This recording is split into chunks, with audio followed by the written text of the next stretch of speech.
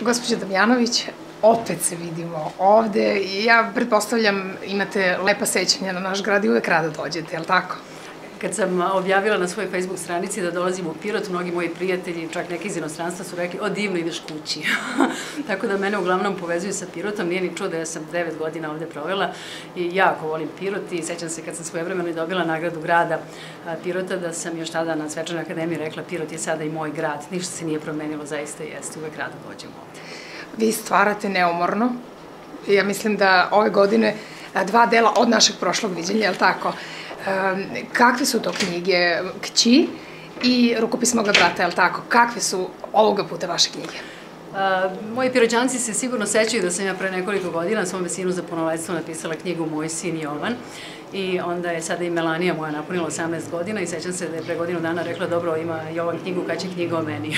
ja nisam imala nameru da pišem knjigu o njoj, to je prosto bio poklon iznenađenja za Jovana, ali sam onda htela njoj da udovoljim Napravila sam jedan divan dokument koji se zove Kći, dakle to je baš onako njen životopis u prvih 18 godina, a ova druga knjiga koju večeras predstavljam, Rukopis moga brata, je zapravo završetak trilogije kratkih priča i nastavak knjiga Dobro je, koja je doživjela i tri izdanja do sada, a ne bih ovo moglo bez sebe, dva izdanja i evo sada Rukopis moga brata, dakle kratke priče.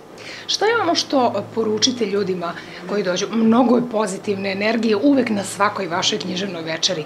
I svi oni koji vas prate na društvenim mrežama vide onaj pozitivizam, onu punu energiju, e, sve ono lepo u životu umete da istaknete, da prepoznate i da ga opišete pravim rečima. Šta je ono što ćete poručiti večeras?